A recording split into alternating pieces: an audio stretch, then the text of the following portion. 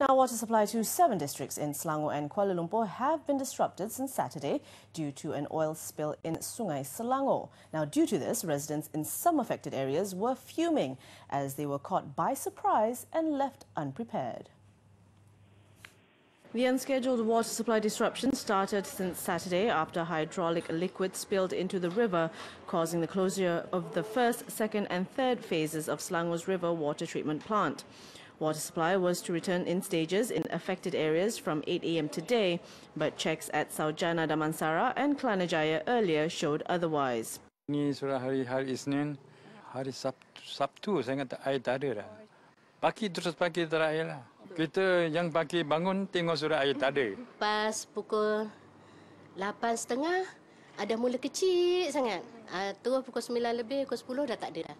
Uh, sepanjang hari sampai Malam tadi pun tunggu uh, sembilan setengah pun tak sampai lagi. Syabas said it has deployed water tankers to the affected areas to assist the residents.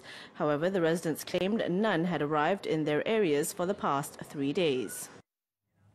Okay, to get us an update on the situation, we have with us on the line Syabas Corporate Communications and Public Affairs General Manager Priscilla Alfred to give us an update. Hi, Priscilla. Hi. Okay, so how many of the affected areas already have their water supply fully restored?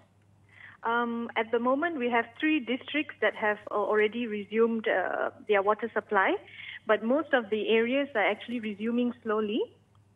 Uh, we can say that 90 over percent have actually uh, resumed water supply. Only areas that are high, high, high-rise areas, as well as areas that are at the end of our distribution network, it takes a bit longer for the water to actually travel to these areas.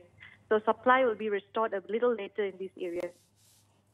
Okay, just real quick, you mentioned three districts. Uh, can you name those districts?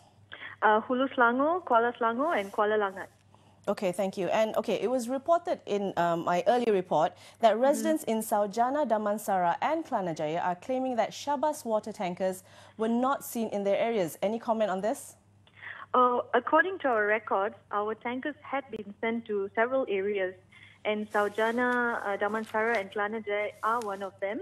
Possibly because our tankers go out, in and out, and they have to return to filling stations to actually fill up their supply before they go back to these areas. So there have been cases where some of the consumers had actually missed the water tankers uh, pertaining to probably the time that they arrived or so.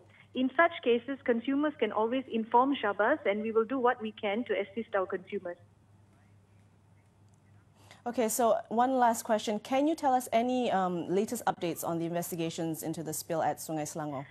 Well, at the moment, what we know is that LUAS and the state government are actually investigating the, the actually responsible party for this.